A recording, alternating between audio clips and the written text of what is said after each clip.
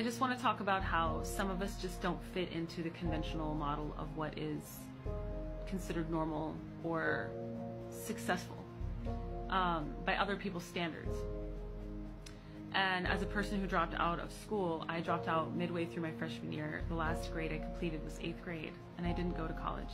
By most people's standards, that would make me a failure. Um, but what I know to be true is that I went out and started a couple different successful businesses in my life. I've been self employed for 14 years. Um, I had six employees when I was like 26, 27. Um, and I wouldn't change a thing. Sometimes we are alienated in a certain environment because we don't fit in, but it's not because we don't belong. It's because we aren't meant to be followers.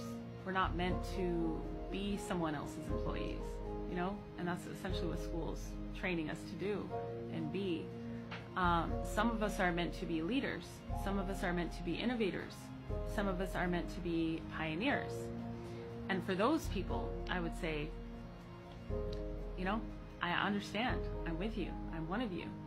My teachers rejected me. My teachers did not get me. They um, verbally abused me and alienated me and basically refused to teach me because they saw me as a lost cause. And it's their loss, you know, because ultimately I was probably too smart for my own good, but not in the way that is valued in a setting like that.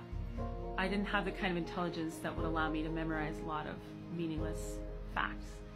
I had the kind of intelligence that would have me questioning why we were doing that in the first place. And that is not something that most teachers value. so if you're anything like that, a little rebellious, a little unconventional, um, you don't quite fit into any particular place it's because you are meant to be different. You're meant to lead others. You're meant to shine bright and create a new example of what it means to be human. And I'm not encouraging anyone to drop out of school. Just because that was the right decision for me doesn't mean that it's the right decision for anyone else.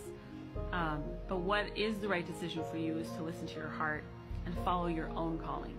What your soul is telling you you're made for, what your soul is pushing you toward that's what I did when I was young. And even though I was judged by a lot of people for it, um, I wouldn't go back. I wouldn't change it, anything.